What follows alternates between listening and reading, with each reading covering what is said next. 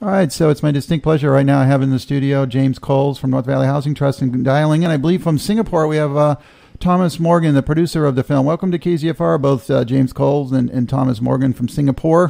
Thank, Thank you. you. I'm, actually, I'm, actually in Beirut right now. Beirut. So even it's even more uh, of a miracle that we have a connection. it is, and it's a really, it's a really, really good one. I hear you just as good as James. He's sitting right next to me, so so that's a beauty. That's great. Why don't you tell us a bit more about Thomas Morgan and uh, how you got involved with this film, Storied Streets, Thomas? Years ago, I uh, I was uh, I dabbled in writing some script. I was never in the movie business. I, I was uh, an investment banker and real estate developer in Charlotte, North Carolina. But I always was fascinated by the, the business, and I always thought that uh, had I had it to do all over again, I would have I would have gone into film. But my father was adamantly against wasting college dollars on on film. So I messed around with some scripts, and I had written a script that touched on the issue of homelessness, and that script got optioned, and so we had a reading, and and over the course of that reading, um, we had 75 to 80 people who were in attendance, and and they came up after and had several questions, and then one of the guys said to me, he said, "Well, what do you know about homelessness?" Which was kind of odd because it touched on the issue, but certainly wasn't the main topic. And I told him I said nothing, and and then he went on for 40 minutes telling me about the issue of homelessness, and uh, and I said, "Well, how do you know about it?" And he said, "Well, I was homeless for two years," and I looked at him and I thought, "Wow." this guy is the exception to the rule, right? And and then he told me this story about losing his business and going through a divorce and struggling with depression and so I went home and I had told my wife that, you know, this was really an interesting conversation. And then shortly thereafter, maybe two weeks after I was in my daughter's school and she was supposed to have a play date. And, um, I said, well, you can go to Justine's house or Justine come to our house. It doesn't matter to me. And she said, well, Dad, I can't go to Justine's house because Justine and her family live in the Walmart parking lot.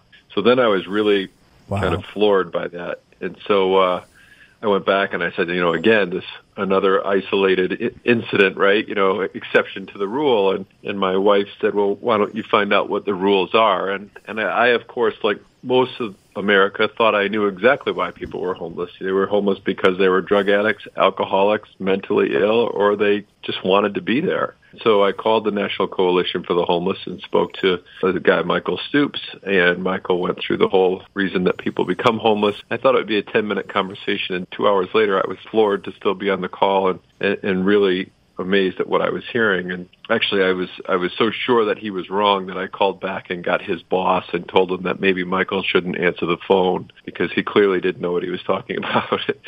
and he told me the same thing. So I was in New York and I was doing an investment bank deal, and I ended up at this party, and I thought, was talking to this guy, and I said, you know, he asked me if I was in the in the film business because party was around kind of a film event and I said no I said but somebody should do a documentary on homelessness in the United States and he kind of jokingly said, but not too jokingly, said, well, you should do it. And then I sat there for a moment, and then I said, well, how about you? Are you in the business? And he said, yes. And I said, well, what do you do? He said, I'm a documentary filmmaker. I said, anything I would have heard of. He said, supersize me. So I was standing there talking to oh, Morgan Spurlock awesome. about this. Great, great. And then Susan, Susan Sarandon walked over, and Morgan said, Thomas is going to make a documentary about homelessness in the United States. And she said, how do I help you? And I told her, I jokingly said, again, right, you could be the executive producer or maybe do some voiceover. And she said, of course.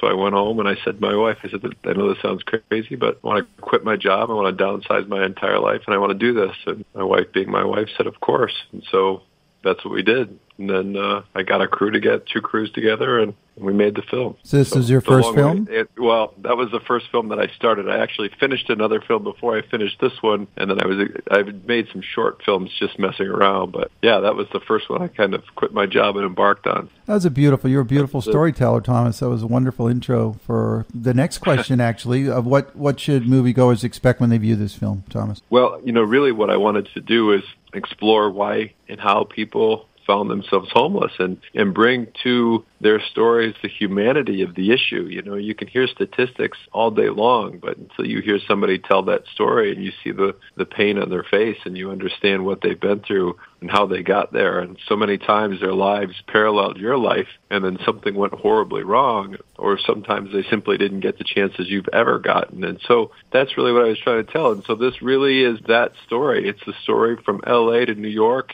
uh, and everywhere in between of, of how people ended up homeless. And I think it's really kind of, you know, jaw dropping when you realize that somebody who is a drug addict and maybe he's exactly what you expect until he tells you, you know, I was in a truck accident eastern Tennessee and they put me on high dose painkillers and I could never come off and I got addicted to heroin and here I am and and suddenly you realize well, that could be my son, that could be my brother, that could be my father, that could be, you know, anybody. And I think that all of those stories are kind of the same. All of those stories you kind of hear and you're like, wow, I mean, not what I expected. And these were people that literally we, we went across the country and, and found and, and just asked them to tell their story. And so 400 hours of footage later, we just had compilation of amazing stories, and and uh, that's what that's what the film is. You know, someone that's edited a fair amount of film myself. I love how it started. For our listeners, I'm going to give you the first few sentences of the film. You know, I work. I get up in the morning and I do my morning things, and I'm out the door of the shelter walking to work. What in mm-hmm. your editing process made you choose that that poignant piece to start the film? I went around the country to find these stories, and Philip ended up in Charlotte, North Carolina, uh-huh. exactly uh, where I live. And and I just thought, you know, that dispelled immediately what people thought.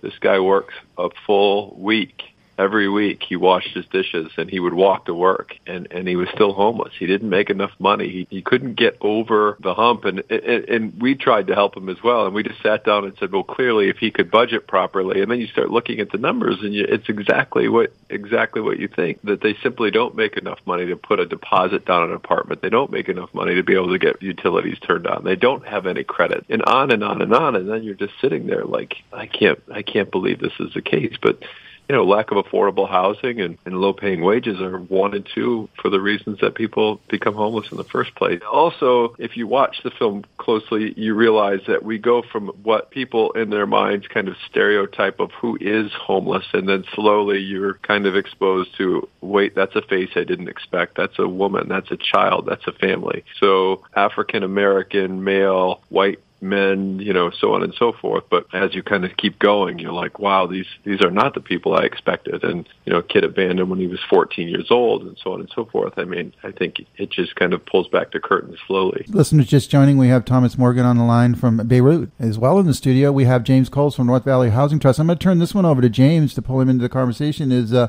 what portion or portions of the movie stood out for you both, and why? And I'll start with James Coles here in the studio. Well, I went to an affordable housing conference in Salt Lake City, and at the end of the conference, they showed this movie, Storied Streets, in a theater, and it really impacted me. And I and I thought, well, we've got to show this movie here in Chico. The part of the movie that really stood out to me, I think, was a big guy, big African American guy, telling his story about how he became homeless. I think he said he went for a long time where no one called him by his name. No one, no one used his name. If you can imagine going going months and months with no one calling you by your name. And then uh, I think he was at a park bench or somewhere in a park. He became very depressed. He thought he might pass away. And then in the middle of the night, a volunteer woke him up and started asking him questions and finding out how he could help. And, and the question that stood out in my mind that this volunteer asked was, "Will you let me help you?" And the man said yes. And then he, I think, went on to work at an agency after he had gotten that help and, and kind of stabilized himself. He worked at an agency where they help other people that are homeless, and, and then he is able to now go out and help others that might have been in his same situation. And, and that really stuck with me as, you know, from both the volunteer perspective and also the perspective of someone who finds themselves homeless. I'll turn it back to you, Thomas. Uh, what's some one point of the film that maybe stood out more than others for you? I mean, that is really a great story. Stephen Thomas is the is the yeah. gentleman's name, and and he had a gun. He had found a, a, actually stolen a gun and was going to kill himself that night because he just couldn't do it anymore. And so he said, you know, he said he he had dug a hole for himself his whole life, and that night he was going to bury himself in it. And he said, you know, instead of getting buried in it, he felt like he was planted. He said because that night a volunteer came his way, and so it, it is a very moving story. And I and I think you know the other one is is there's a there's a gentleman that that throughout the film kind of a narrator and you don't really know what his his story is and uh, then you find out that his schizophrenia and that story for me you know he's not what you think he's not what you expect he's he's ridiculously articulate. He's able to explain issues. Uh, his name is David Pirtle, and, and he just is so eloquent in his explanation of all of this. And then you realize, wow, how many schizophrenics or bipolars or people that you see on the street who have a mental illness are there because they're just simply not getting the medication or the care that they need? How many are, are falling through those cracks? Or how many lost that or will lose that now? I mean, think about the ramifications of, of Obamacare going away and suddenly people can't afford to get prescriptions anymore maybe or they can't afford to uh, to get the same care. And so that for me really stuck out because he is He's a speaker for the National Coalition mm. of the Homeless. He's just an, an amazing human being, and it, just draws the question of how many people go unhelped that we could easily help. I thought it was extremely important the whole violence against homeless communities, the whole series of bum fights, and the things that were actually stole, sold in stores. You'd be able to get homeless people being beat up by citizens. Before we move or shift to closing comments, I mean, I'd like to get a little some words around that from you, Thomas, on the violence of how people are perceived and how a lot of times they're violently either physically, verbally, or both abused in their situations. Well, uh, you know, I think I think David Pirtle said it well. You know, I think he said, you know, when when you speak about someone in a certain way, and and it suddenly becomes you, they've been dehumanized, uh, it, it becomes okay to to hurt them or to to harm them. And Susan Sarandon and I spoke at Congress about the issue of violence against the homeless and the fact that it wasn't included as a hate crime when there were seven other. When you take the seven other hate crimes, combine them, all of them together do not equal the number of people lost to uh, fatality through violence that, that the number of, of homeless people do. It's amazing. I've actually approached the interfaith community here. They have an open letter about hate crimes. There's nothing in there about homelessness, and nothing, nothing, nothing. There's they, they're defining everything other than homelessness, and I agree 100. percent And I, you know, I tried to to walk the dime. I said, so if people want to, you know, look at it this way or that, if you include rape, there's no discussion. I mean, rape against uh, women uh, that are homeless is just one of the most horrible and most common occurrences in sex trade as well. It, it, it's just a ghastly, ghastly situation. Yeah, I agree.